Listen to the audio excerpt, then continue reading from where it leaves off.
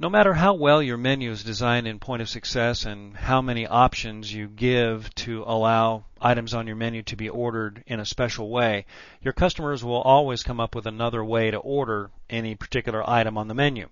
So it's a good idea to have comment buttons on really every screen in the menu. And a comment button is used to add a comment, just text information. It can be preparation instructions like well, put the dressing on the side, or or it can be a preparation instruction like um, extra done on the crust, or uh, extra sauce on the wings. Uh, wherever you need a comment or uh, wherever you need to further explain something that's ordered, use a comment button. There are three ways to set up a comment button, and let me show you one now. Uh, you can click the comment button on the component palette and drop that on the screen, and then just type comment. And when this button is selected, a window will appear to allow you to enter the comment. You have a little more flexibility using two other types of comment buttons. Let's delete this one that we just set up. Let's uh, set up a comment using the conventional way to set up a comment. And you can use comments on two kinds of buttons, on an item button or on an include button, depending upon where the comment is on the menu. On the main menu screen, use an item button for a comment. So click item button and then drop that on the screen. And the item button properties window will appear type comment in the caption or any other word that you use to describe this, and then the product code is selected for this button.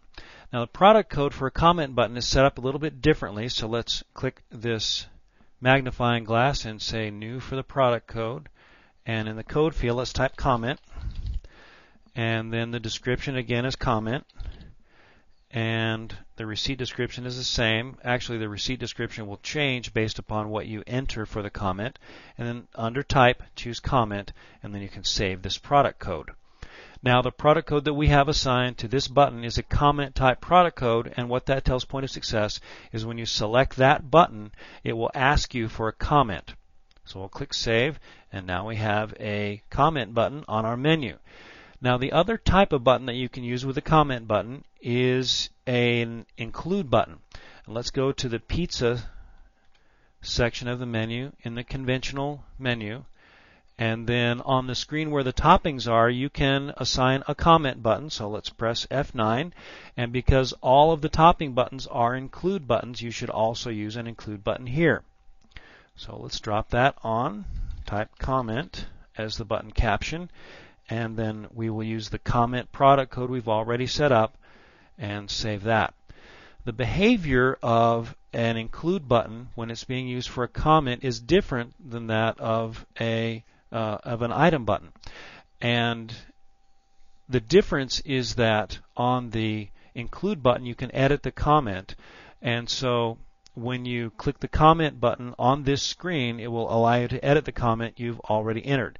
So if you want to have multiple comments on a screen like this for toppings, just put another comment button right there. So it's basically line 1 and line 2 of the comment. Product code, choose comment, and save that. Now we have two comment buttons on our pizza topping screen.